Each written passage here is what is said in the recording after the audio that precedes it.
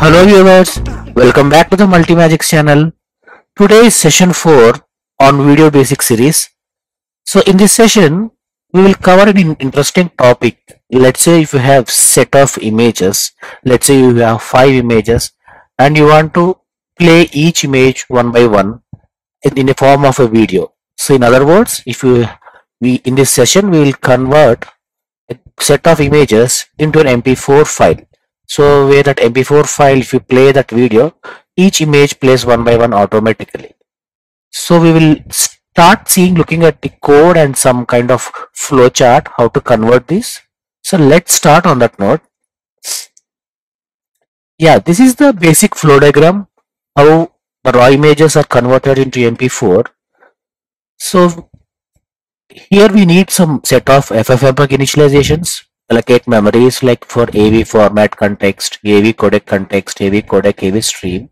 So all these are different structures defined in FFmpeg and we need to populate all these structures.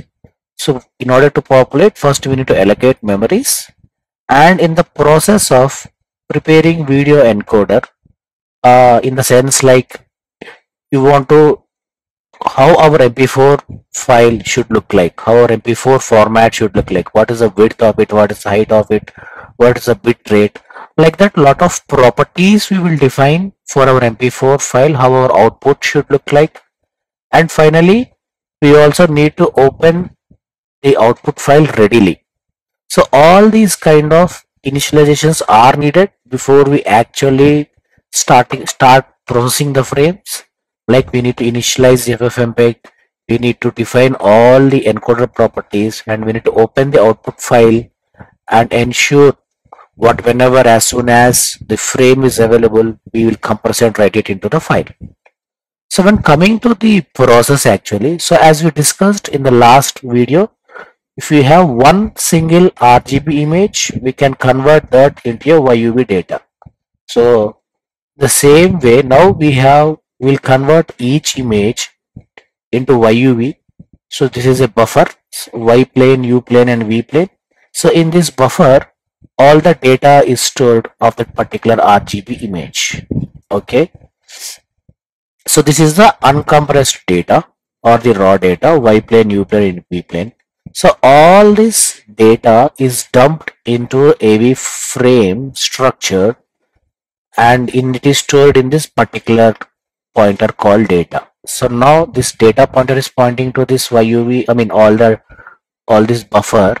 And then for AV frame, you have this format. You need to define the format like YUV 420p and width is 640, height is 360, and uh, so like all these parameters you need to define. So you need to allocate a frame, and then you need to define these properties, and then you need to dump this data into this data structure of the AV frame. So while going through the code walkthrough, I will show you each and everything what is happening. And now you have the AV frame ready for a specific YUV for a specific RGB image. So now you just keep sending this frame and and remember while sending the frame we need to increment the frame present timestamp and now this frame is sent and now AV receive packet runs in another thread so this runs in one thread and AV codec receive packet runs in another thread. So as soon as this sends, this receives the compressed packet and this compressed packet is written into the MP4 file. And the same thing happens for each image. So let's say I have given five images. For the first iteration, this image is converted to YUV plane and then to uh, YUV data is dumped into AV frame and AV frame info is going to send frame and then receive packet and write it. So this is the typical flow diagram how you convert a raw images to MP4. So now same thing we will look from the code perspective. So let me quickly go through the code here. Yeah, this is my code actually. So if you if you see here, so this is my project uh, uh, images to mp4.cpp I have a specific CMake folder which builds this particular file and then inside the build folder the executable will be there. So now let's see one by one what is happening as we discuss. So as I said, uh, the first step is you need to do the FFmpeg initialization. Okay. So as a part of this FFmpeg initialization, so first we need to allocate the memories. So this is uh, so these are the basic data structures we'll be using. AV format, AV codec, AV codec, AV stream, and this is the output pixel format. We are converting the RGB to YUV 420p. So now we will be populating all these structures in the during FFmpeg initialization which are needed for encoding. So uh, here I am allocating memory for this and uh, here it is based upon the output file. So I'm just allocating the memory and I'm allocating memory for stream and now I'm finding the encoder. So now here I am uh, the, for, the code, video codec I picked for encoding this AV codec ID H264. This is one of the very popular video codec format and I will be using this for this particular project and now I will be allocating for codec context. So as you can see, I'm just allocating memories and now these are very key parameters. So here I am defining how my encoder should behave or how my MP4 format should look like. So these are all the encoder properties which we need to define must. Since it is H.264, I am defining this AV options set as preset and slow and this my height is the height of the uh, frame and width is width of the frame and this is the output pixel format. So the height and width i already defined here 640 and 360 so now here this is the constant bit rate is 40,000 and i am this is very important time base. So we you are attaching a timestamp to it telling that you are having 25 frames. So my it can support 25 frames actually. For one second it will get 25 frames and the max b frames is one you as we already seen in the last between last last video like what is b frames how it is important so to make compression bit simpler i'm putting max b frames and one and this GOP size is a gap between the frames. I'm uh, I'm not exactly sure on this parameter, but yeah, it is between the iframes how much gap we should leave. This is about the so these are the basic parameters I took how my encoder should behave okay so now you open the output codec context video. So it, and then you open the you copy all the parameters of this context video to the stream. And then you open the output file format. And then you write the header. So as i as i mentioned in the slides here so i'm just making everything ready here. So uh, like uh, all these things is done. So the next thing is we will see how to dump this RGB to YUV plane and from YUV how to so we'll see from the code point of view how this block is done okay? So now the next thing is so let's go to the main function yes okay my bad okay. Okay so inside the main function as i seen here as i mentioned here. So first these are the FFmpeg initialization is done. So I have selected four images. So all these images are coming from the MP4 file. So we extracted those frames and I selected just four frames from that MP4 file. And then now, now I am iterating these images and I, and I am converting this each image into YUV data. So this is already covered in the last week. So how to convert an RGB image into the uh, YUV data. So it's simple that you just read that RGB file and then you rescale the context from RGB to YUV and then again you uh, get the response one in the scaling.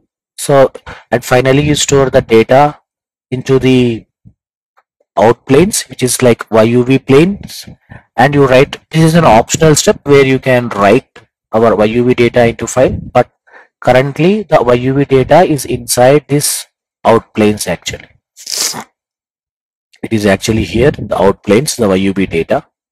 Okay. So now the next step is we need to dump this YUV into AV frame. So before dumping I have a two function overloading. So first we'll be calling this frame and which image to show. So as I mentioned I am storing I have a vector of out planes so for each image I am storing for four images there are four out planes okay? So for one image you're storing in one output planes and for next image in output planes. Like that i have a vector of output planes.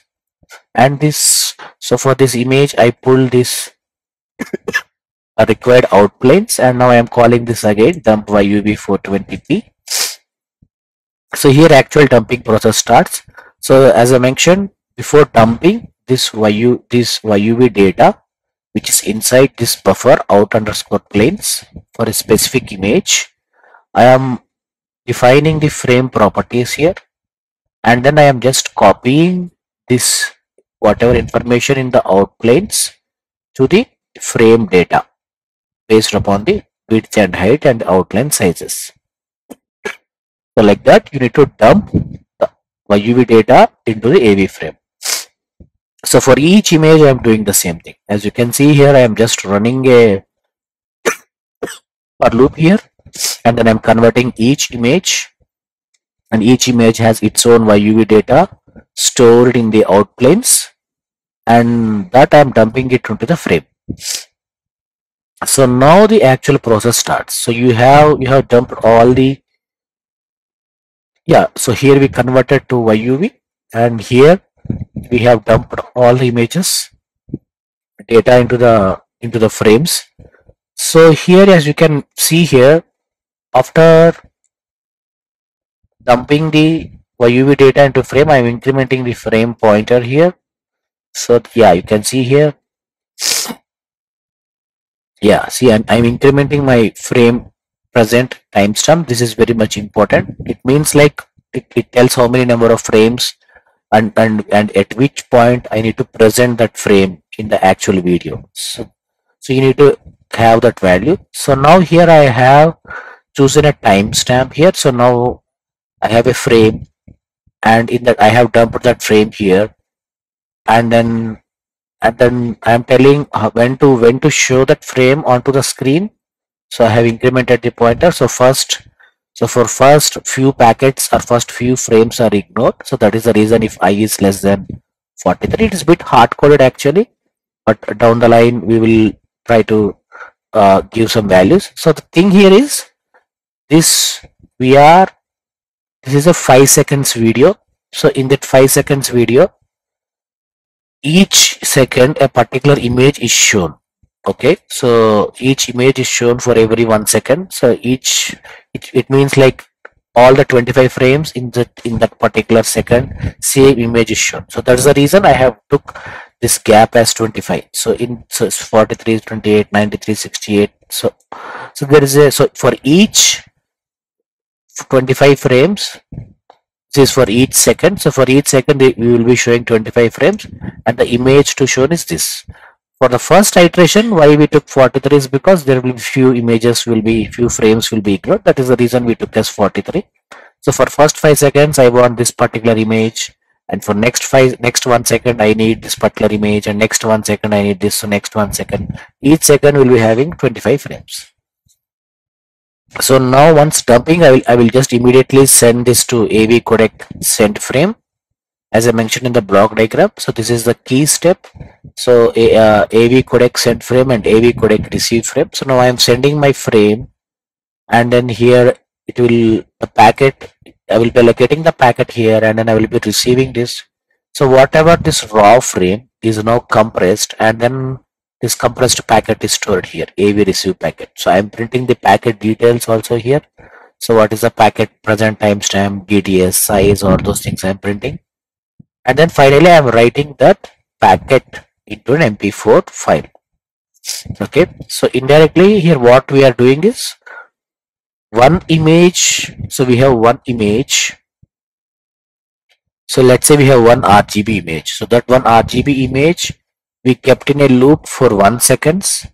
And in that 1 second we have 25 frames. And we have compressed each frame into AV packet and we have written that into the MP4 file. And for the next second again one more RGB image will be there and then it will convert it into YUV and then again it is sent into frame and then and then from frame you encode it and then you return to the file. The next 25 frames of the same image. So for third second like that for every second we are sending 25 frames and each frame we are encoding and writing into the packet. So that's how actually the things are happening here. And finally, you just after writing everything, you just write the trailer and then you close all the things and that way you will be uh, freeing all the memory. So now let's look at the live what is happening. So let me do one thing. So I'll just remove all the contents first. So I'll just make a build here, cmake dot dot. So I have a cmake file here. So it will compile and it will check all the FFmpeg versions available. And then I will do a make command. Okay, my executable is ready now. So this will automatically pick five, four images and convert that. Okay. Yeah, and let's have one look look at this console output once. So basically, if you have seen here, so first few frames were ignored here. Yeah, first few, so it started from around 2017 frame, and then this is all the information I have been printing. But this is a very important information actually. Uh, yeah. So you can see I started here images to MP4 it says using CPU capabilities output information. So first few packets were ignored. So from 23rd packet to 43 packet close to 25 frames. So now this uh, all this information all these packets were written. So it will be around 25 into 5 125 packets will be there and uh, so first few frames we ignored so 125 plus 17 total 142 so this is what happening so total i so this total is 125 frames so out of that, I frames were 15 and P frames were 58 and B frames were 47. So this is how the data is compressed. So we have we have compressed packets and I is 15 and P is 58 and you know P is predicted frame, B is bidirectional all these things total 25 frames. So this is how we cut using using libx264 encoder. So this is how you convert an images into an MP4 file so let's quickly play the output once. So this is the final image actually. So let's play this using the VLC player once. You can see here this is the first image, second image, third image, fourth image, fifth image. So like that for each second an image is played uh, in the sense that each image is kept in a loop for one second. That loop has 25 frames. So this is how I converted an images to MP4 and then yeah let's quickly recap what we have done today. So we simply took a set of images we converted each image into YUV and we dumped that into AV frame. And then and I'm sending and and the same frame I am sending it to multiple times until for 25 frames I am sending same image keeping it in a loop such that that particular image is played for a second and then each second has 25 frames. So like that we define our encoder telling that it has 25 frames in that AV rational like that. So the so the key things here you need to remember is like you need to define the uh, the encoder the, the encoder specs. So these are the encoder specifications. Like if you go to FFmpeg initialization, one has to definitely take care of these initializations and also you need to increment the frame pointer. So by taking care of this, you can convert an MP4, I mean an images into MP4. So in the next video, we'll go through how to convert if you capture any images from a camera and convert that raw image to YUV and from YUV to AV frame and AV frame to MP4 file. So like that, we will take first 20 seconds of data coming from the camera and convert that into an MP4 file and then we will see that with the help of instead of file we will be focusing from the camera. So let's cover that in the next session and that will be very interesting one. Hope everyone enjoyed today's session. If you have any questions please reach to us uh, with the help of comments or you can reach to us with the help of our blog. Thank you. Have a good day. Take care. Bye bye